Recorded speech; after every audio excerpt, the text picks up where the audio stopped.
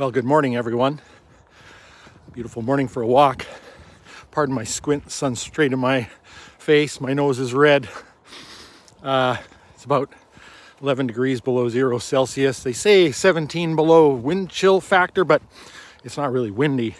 It's cold though, but I'd open up my jacket because uh, I walk pretty briskly.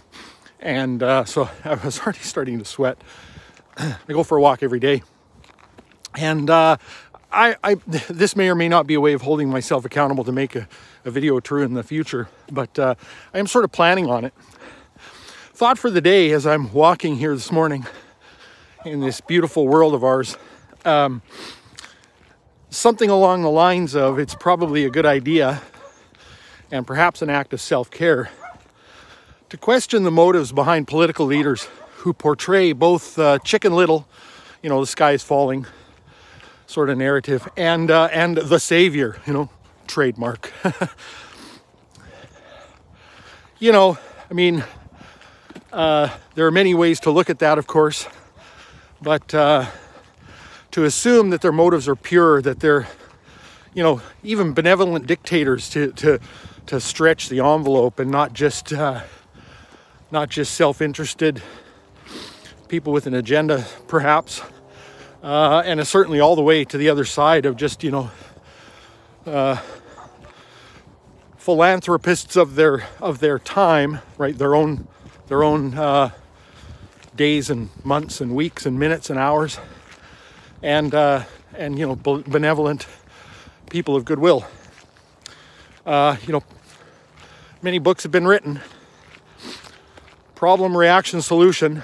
Uh, you know, disease X, climate change, uh, you know, the recent pandemic, all of the other things um, that, and, and the things that they use to incite people to support various conflicts around the world that just end up killing more and more and more people. It's funny how, you know, I'm not a, not a Donald Trump supporter, but uh, it's interesting to note how many people really hate that man. And, um, and, uh, Again, I'm not a big fan or anything like that, but it's interesting how the media, you know, and I would add them to the, the list, right? I said political leaders, question the motives of political leaders, but I would add the media, you know, and all of that. I'll, I'll save you the redundancy of uh, in, industrial complex, you know. I guess I won't. But uh, anyway, it's interesting to me how someone like Donald Trump could say, I just want people to stop dying, right? And that's you know, touted out, trotted out as some kind of a negative, right? And, uh, you know, these people have failed you. They failed me, they failed all of us. If your government gets you involved in anything more than a purely defensive conflict, and I would argue that the majority of these are not, they have failed you. And add to that the fact that the citizens of one country almost never rise up and storm the border and take up arms against their neighbors, right? It's the political leaders who stoke those kind of things. And uh, it just kind of amazes me how, in these times of turmoil, there almost seems to be more. I guess that's it. You know, a lot of times in a in a period of crisis, people sort of rally around their governments, and uh, it's probably the exact opposite thing that they should be doing. They should be demanding a change. I mean, as as any of you who follow my channel know, I'm uh, actually what I would call an armchair anarchist. I don't, I think that uh, democracy itself is immoral. If you do the ethical math on that, I don't know how you can come to any other conclusion. You can give me the, it's the, you know, it's the worst system except for all the others that have been tried. Sure, but that's not an argument in support of something. You could make the same argument for, um, you know, food crop harvesting and food production and slavery, I suppose, back in the day. Uh, it, it's you know, it's not a it's not a good ethical argument. It's just a pragmatic argument, maybe if that.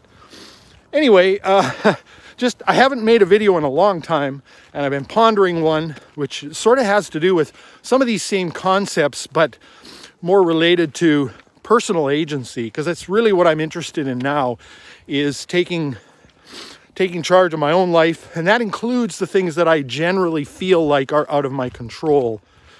And maybe they are, but as my mom taught me, um, what I'm definitely in control of is my response to it. And so that's a little bit more of what I'm thinking about. In the meantime, I'm about to pull a big hill here, and I usually do it with you know full nasal breathing and all of that. And it's a workout. I pump it hard. Plus, I have an ungloved hand here that's about to succumb to frostbite. So I'm going to bid you a good day, and uh, thanks for watching.